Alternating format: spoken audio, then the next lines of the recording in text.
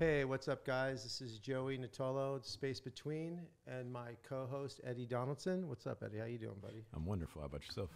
I'm good. I'm good.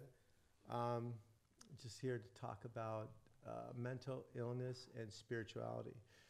I think that over the course of the past couple interviews, we've been touching on it. Well, obviously, we've been touching a lot on it because we've been uh, kind of interviewing people and going through it, but talking about through, through my lens. And I thought it'd be interesting to kind of have you back and really talk about how we collided uh, back about three years ago. Once I, uh, I told you that one of our best friends, who had drank himself to death and died, had decided to come back and communicate with me, and how, how you processed that information that I laid on you that day. Yeah, it was it was deep.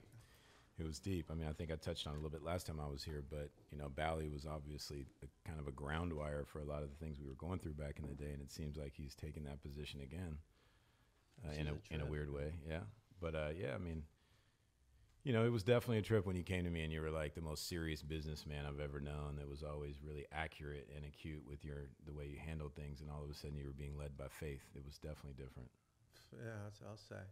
You know, the thing is, it's a trip. Is at the time, and I, at the time when I saw you, we were there was a there was a separation us hanging out. I obviously was got married, had four kids. We but we, we saw each I other. saw you. Yeah, once- Lisa had brought me to the house for a couple Yeah, yeah, holidays yeah. or whatever, and we But there was obviously, you know, uh, there was there was gaps in time in between that. So, you know, where I was having four kids, um, produced films, built houses, I'd, I'd created a comfortable situation for myself and my family, um, and ultimately to feel that I was really in a comfortable place, very in control of my life Yeah, you Yeah. know, uh, to say the least at that time.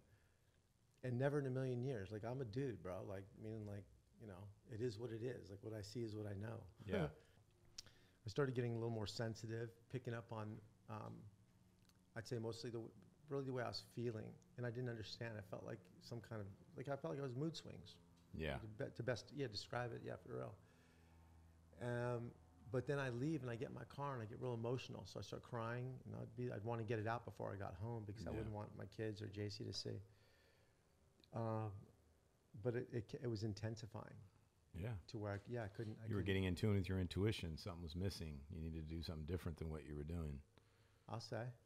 You know, your life was very black and white, one, two, three, and now you're like living this geometrical space life. It's, it's definitely very different.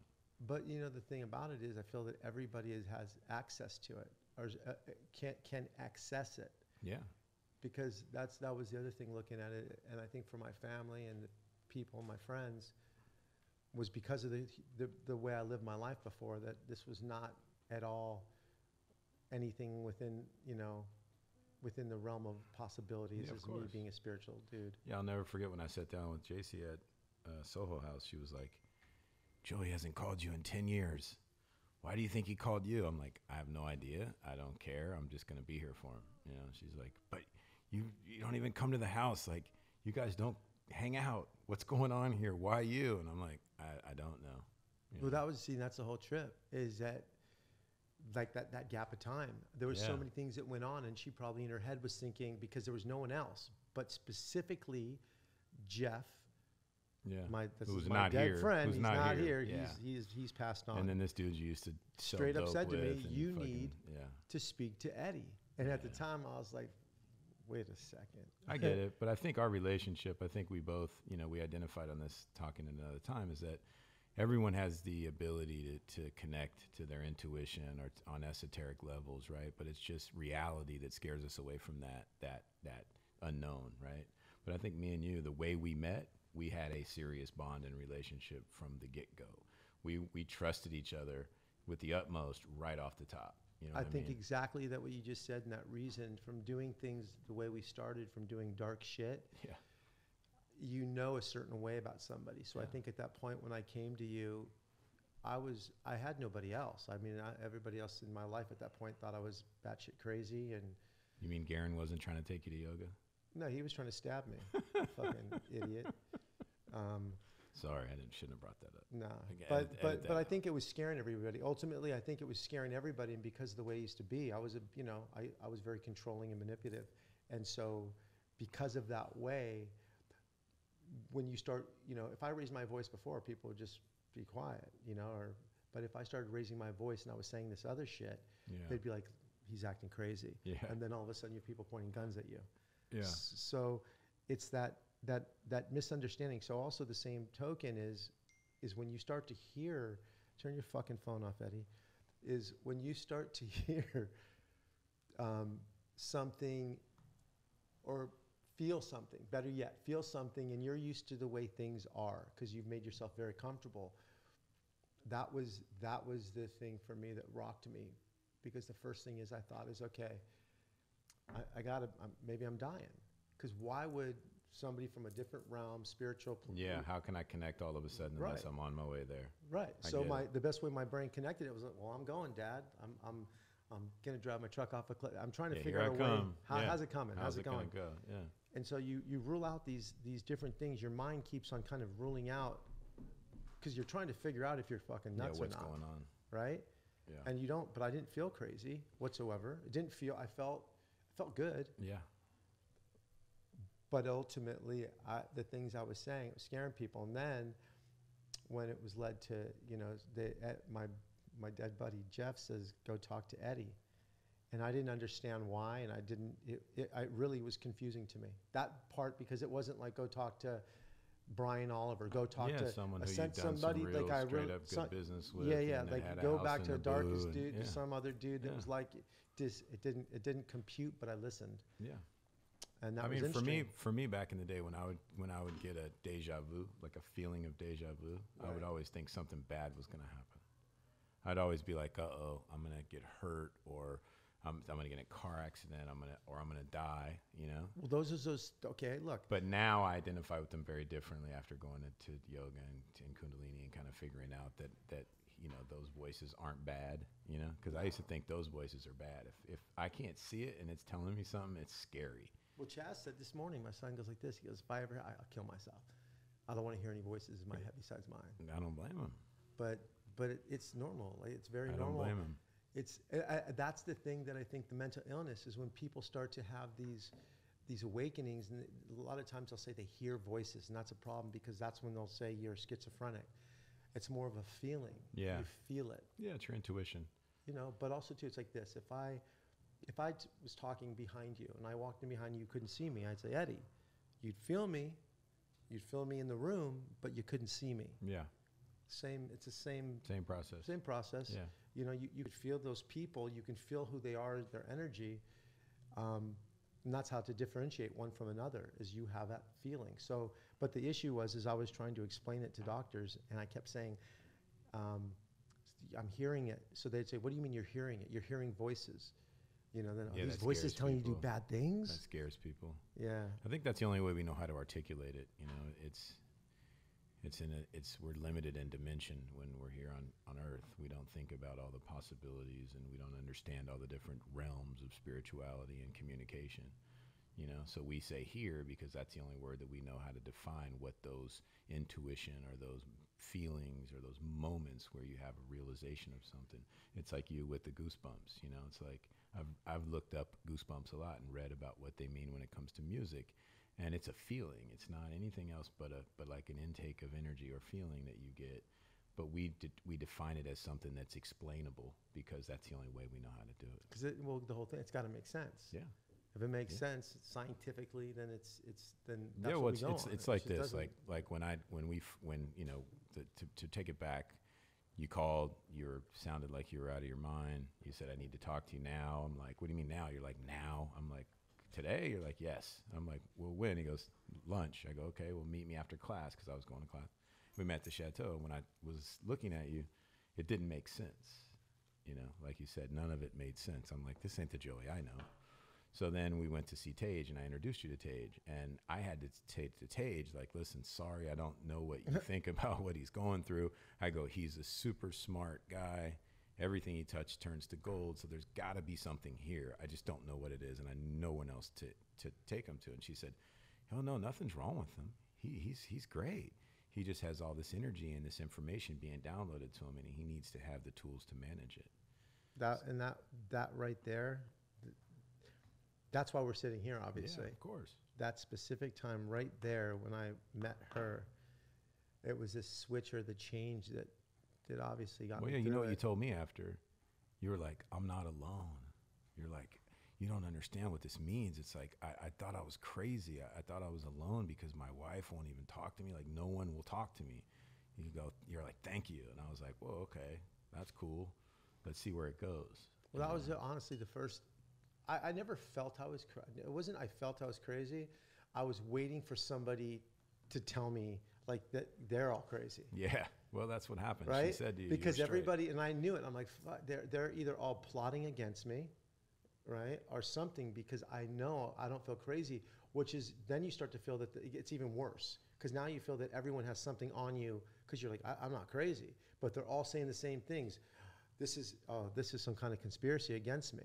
Then you start to act weird because you don't trust anyone yeah, at that point. become defend, take a defensive, Totally, a defensive posture. Yeah, and you don't. You, I didn't know who to trust at that point because the people that I did trust were were my family, and they were only trying to help me. They didn't understand, but also think of. I'm, I'm telling them I'm hearing these things in my head. It sounds absolutely fucking nuts, but it didn't feel. It didn't feel crazy whatsoever. Um, and the more that I started to kind of go into it, the easier it was to take me away. And then I just, I did feel like I lost my sense of being here, let's say. Yeah. You know, where they, people say you need to be grounded. You, that's, that, that's why they say it. Because euphorically, you do feel like it can take you away. It's a different kind of feeling, and you, you have to have very solid grounding and people around you to help you with it, or to make to make sense of it. Because when things don't make sense at all, you start to lose traction of what is real and what's, what's not. What's real and what's not. Yeah, Yeah. Tage always says, when, well, not always, but a lot of times we leave class, she's all, everybody put your feet on the ground after we do something crazy. She's like, because I don't want you guys to get out there and just get lost. Well, it's it's in, it's insane the things that we take for granted, but you but you don't really not even knowing it. So think about like us on the street. I really all I really thought I had was just a high sense of intuition from street being on the street, and being Yeah. very sensitive to to my surroundings. Being aware. Yeah, yeah. Yeah. And I think that so we all have it.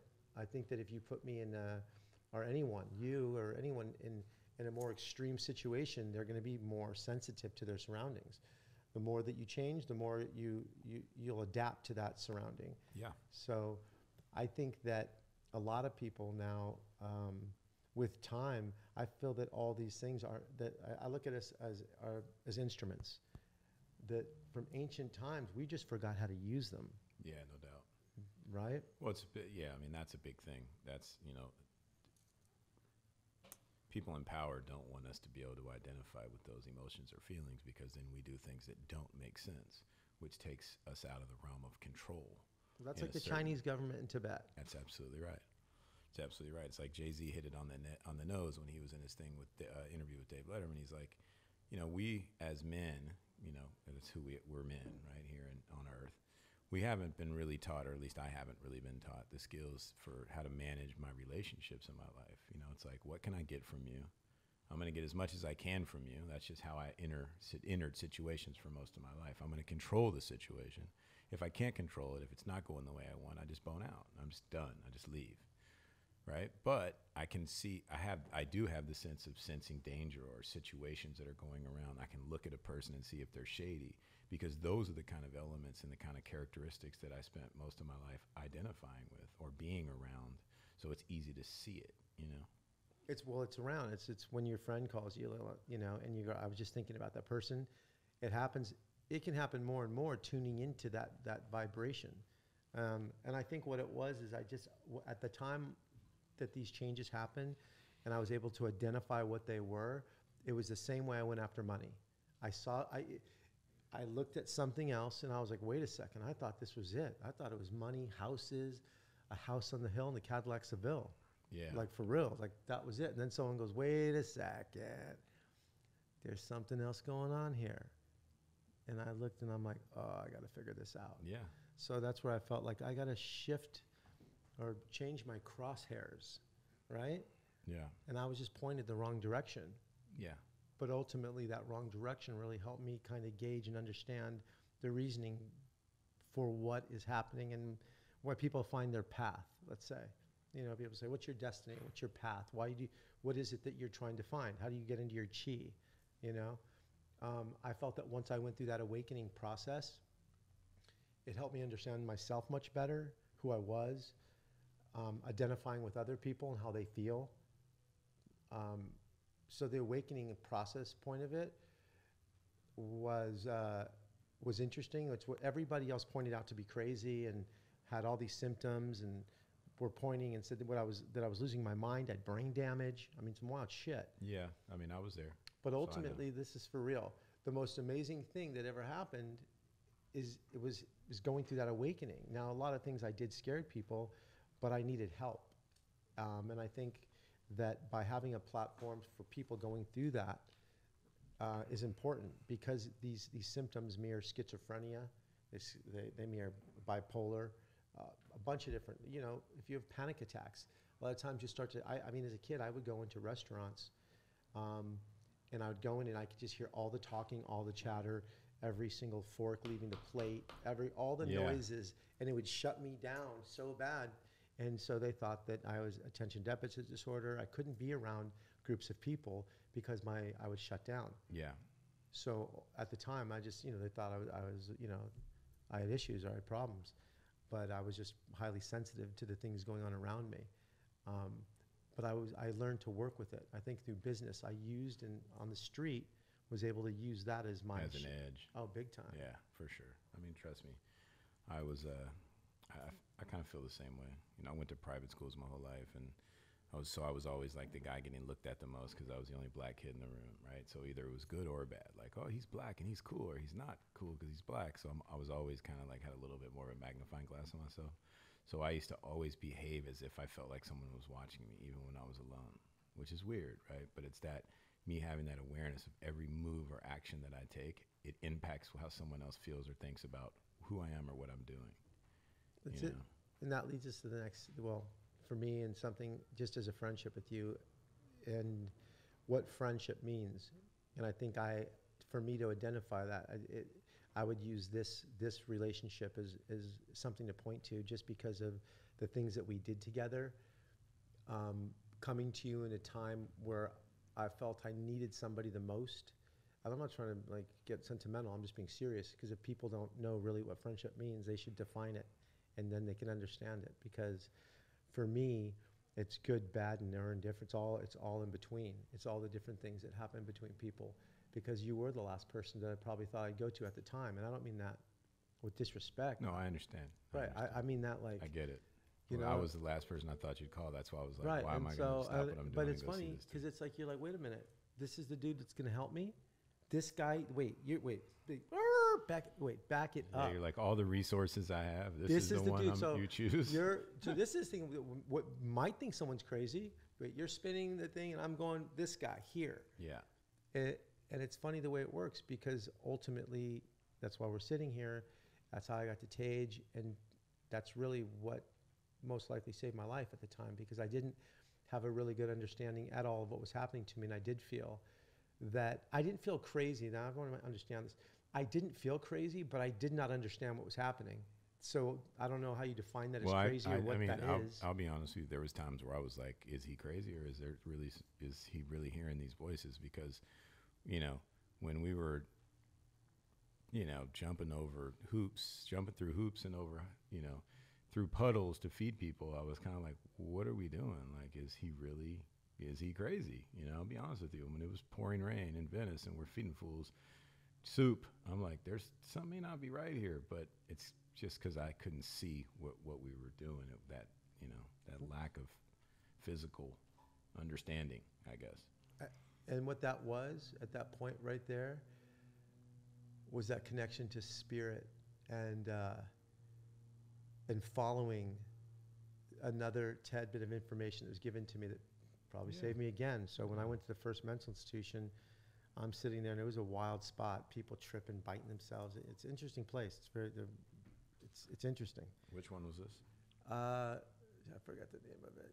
it was a, it was just it was just a nightmare. I'll remember the name. I probably forgot the name purposely. It was horrible. As you should. So the first thing I did was I went and I took a knee in the shower once they, they had me checked in and everything.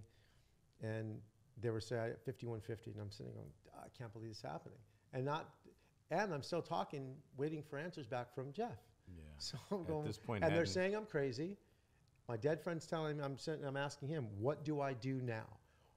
Give me, I need, if you're talking, Yeah. I need help right fucking now. I'm tripping, bro. I'm tripping. And I just hear, be of service. And I'm like, be of what? Be of service. And I'd heard that before in an AA class. I'd heard it before, but I just ignored it, didn't really understood what it meant. And at the time, I didn't know what it meant when he said it, but I really had nothing to fall back on. So as I got up, I remember hearing it in my head, and I guess that point I started walking around and cleaning up piss and shit. and Yeah, you were helping the people in, inside the institution talking to them, trying to figure out what's wrong with them, Yeah. figuring out how when they get out, you're going to help them, doing what Joey does, problem solve, Yep. But it and helped me allocate through. resources. I get it. and it helped me out. And and and soon as I got out, I was I, I, I was thinking about you. That's where I found Carol Moss. Was I was in there? It's not even kidding. All these all these things happened when I was in there. So I had to believe that what had happened had to be that I was going to be led on this path to either feed Yeah. and help people, and that's how we got led to start feeding these homeless people. But I didn't have direction and why I was doing it. So it seemed very manic and very Yeah, out sporadic, there. yeah. It was sporadic. I'm, I Yeah, was- but I mean, like I said earlier, everything that we did seemed like it fell into place at the right time and at the right place. Like even Carol's meeting, like I can't. I remember we went to meet her, and it's like you're like you were gonna go meet this lady, Carol. You're gonna love her. She feeds homeless. It's great. I'm like okay, and we walk in her house, and she's 80 or however old she is.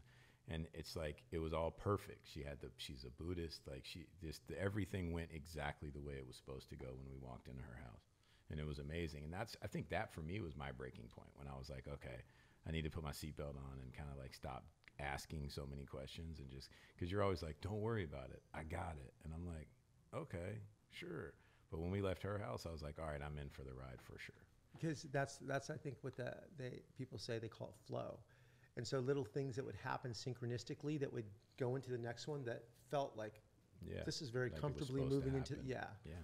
And I By the way, my graffiti name is Synchronicity. I like that. Yeah. And you know why? Ian named me that because I'm always on time. There it is. Yeah. So There it is. Last time you were here, you weren't on time I was not. I was not. The uh, the other thing that we did was after I was able to manipulate him to start feeding homeless people was um, Eddie Eddie goes let's do an art show for homeless and, at the time I didn't even realize uh, and I knew Eddie was into graffiti and art but I didn't you know realize he had contacts to some of the biggest street artists in the world um, and that led that feeding those homeless people led to me and me and Eddie doing our first art show together, uh, which was in 2017.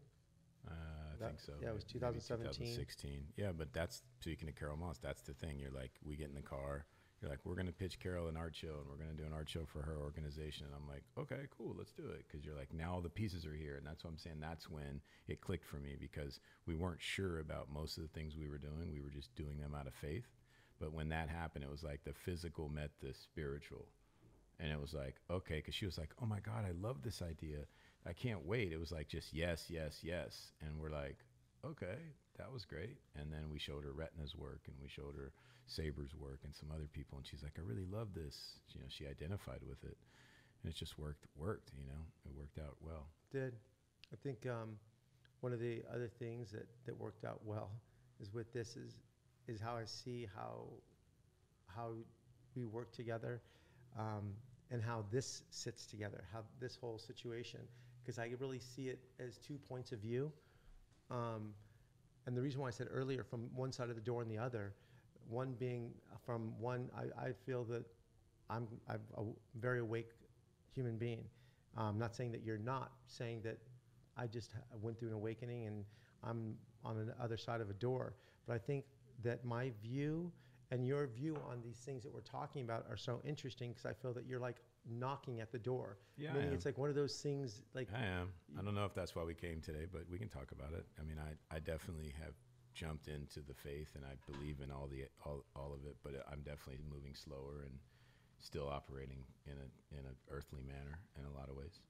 And I think every a lot of people are. That's the but that's the that's the the beauty behind it is to be able to to have these conversations. I think and and to to bring attention to some of these things like the mental uh, health issues and people going through this. Um, to have a platform to come and listen to and, and maybe have a, a- a second opinion, so to speak, or have something, uh, a different set of eyes on something or Well, that's great. Good, that's a good a good way to put it. Second opinion instead of a doctor's second opinion. It's just a humanly second opinion. And I don't even think they, they don't even know what to do. You know, if you go to any doctor, they don't have a real idea of what to do with you. If you go in and you're having an awakening, they, they'll diagnose it as schizophrenia, bipolar. They get, there's like 10 different Yeah, well, I mean, if, if you think about the idea of awakening, right? It's like, in your case, everyone thought you were lost. Lost. So the an awakening is almost like the opposite of being lost and awakening. They're the two. It's like almost two opposites, right? It's- And so if anybody doesn't know what they're doing, or let's say you're a, a movie mogul or you're a real estate mogul and you're like, I don't want to do this anymore. I just want to go do something that helps other people. P- The world deems you as lost or crazy. like Tom or- Shadyac, yeah, it's like bu- Kanye West, uh, Jim Carrey, uh, Russell Brand. You can keep going. You hear some of these guys talking this madness. It sounds like madness, right? madness, but in But, it's, reality, but it's if you listen closely, yeah, brings it back to the essence of who we who we were Right. before we were caught up in the circumstantial lifestyle that we live. Right, and that's what I think is what we what we've done is we've forgotten how to use our instruments, and these are ancient, you know, secrets we have known on tools, yeah, they're time. ancient tools that we're given. And and I now that I see the the things that are accessible within one, um, it's definitely interesting. And so to tie into it and how I how I figured that out is through yoga and through Kundalini yoga, um, and balancing that energy. Yeah, well, I mean, I think a lot of times people, you know, you spend your life working, hustling, grinding, making money, whether it's legit or illegitimate, or it's right or it's wrong, or fair or selfish. You know, you you you after so long, it's it's been so much so much work that you want to relief, you want to release, you want to find yourself in a, a much more relaxed environment in your own life, and, and in that circumstance or in that situation, you can't do it, so you have to come to where you are or to where other guys that you mentioned have gotten where it's just kind of like you don't follow the normal and you do what makes you feel good because that's what your intuition is telling you to do. And being of service is a big key to that you know and it's probably where save our souls came from you Mhm. know?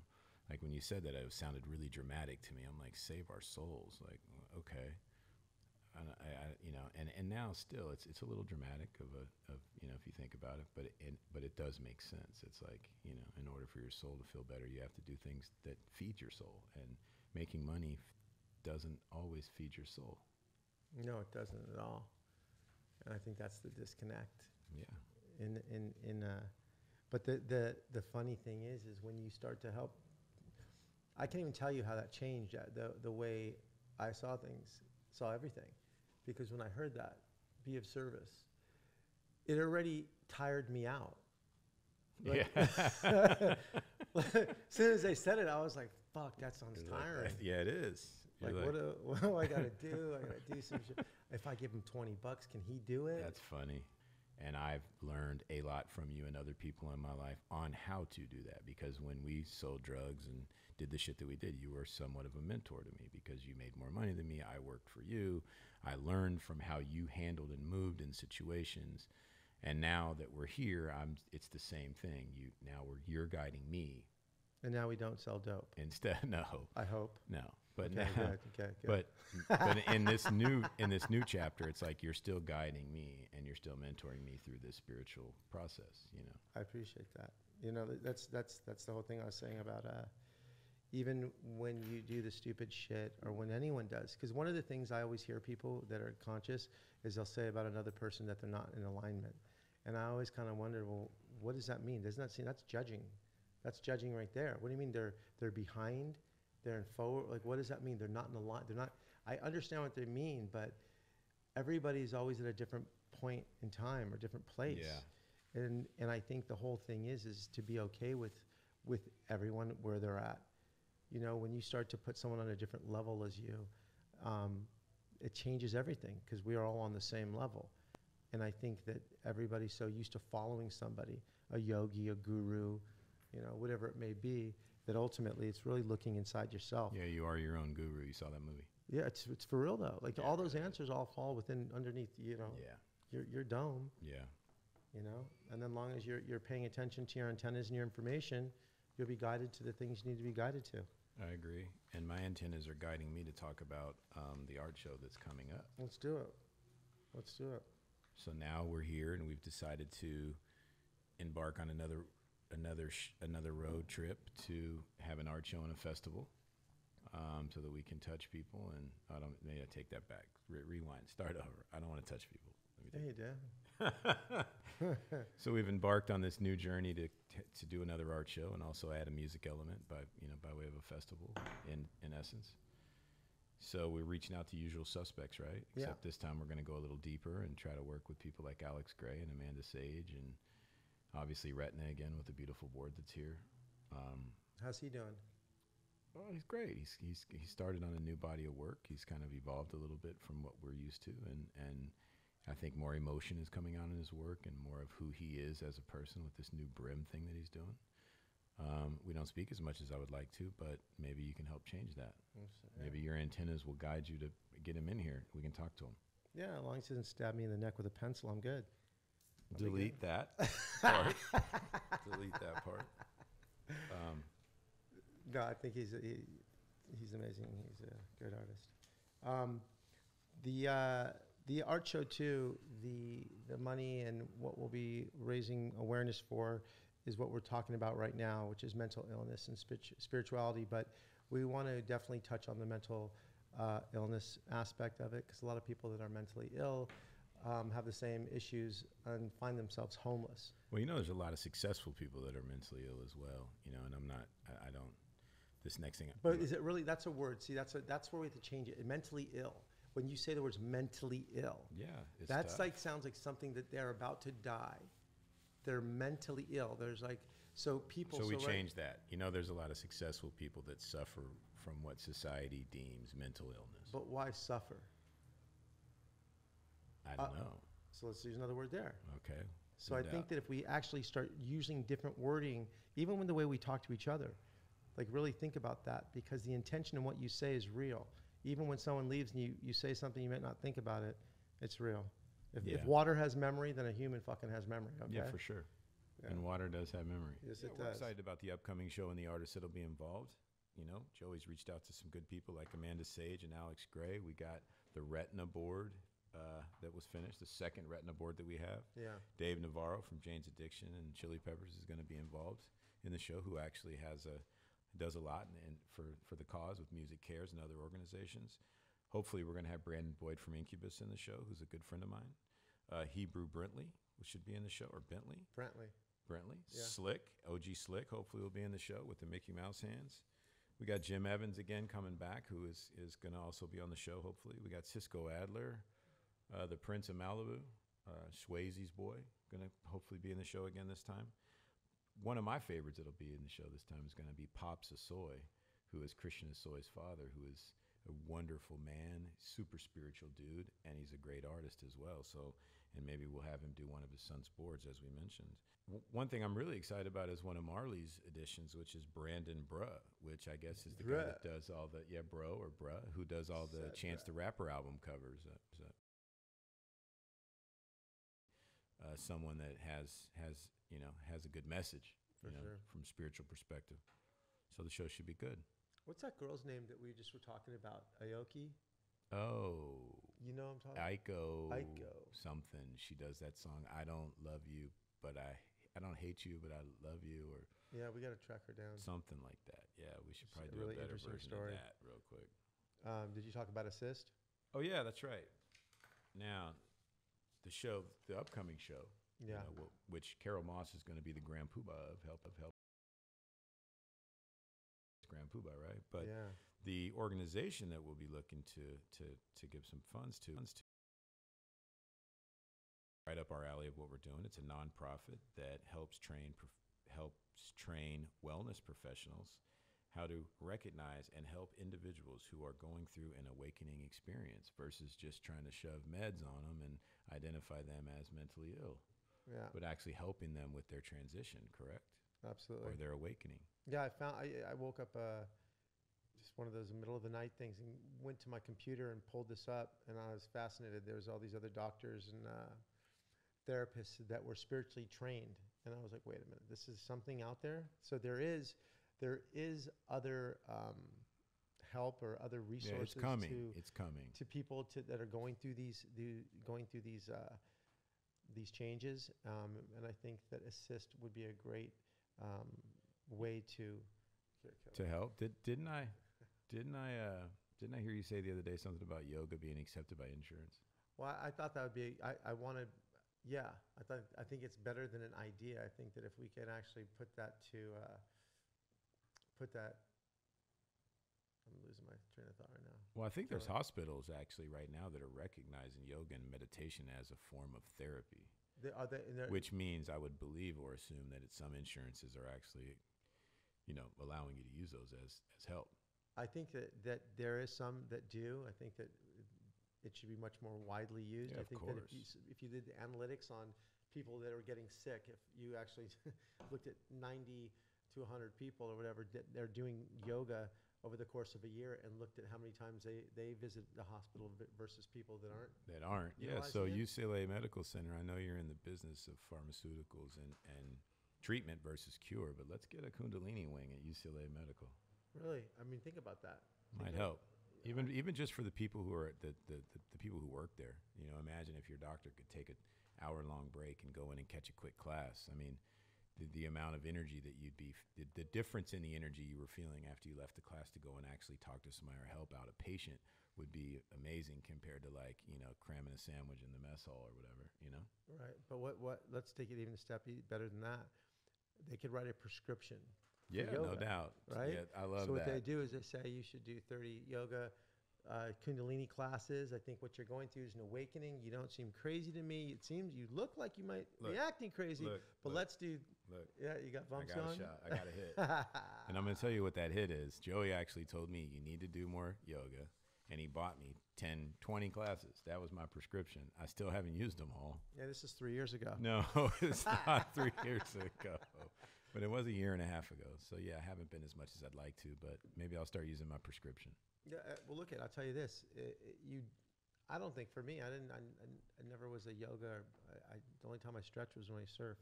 But I see the the physical, my physical difference that it does for me. Yeah, of course. You know, and I, I know that it does help me balance the energy that I pick up on. So, ultimately, it's something I feel that would be able to help a lot of these people um, uh, that are going through these changes. Is uh, uh, Kundalini yoga or another another form of yoga, but any type of body. Any type of meditative Yeah. practices help. But Kundalini yoga, I recommend. you know and not for nothing but i use a breath of fire more than you think like i when i'm driving in my car and i'm starting to get a little frazzled over some shit that i can't control i start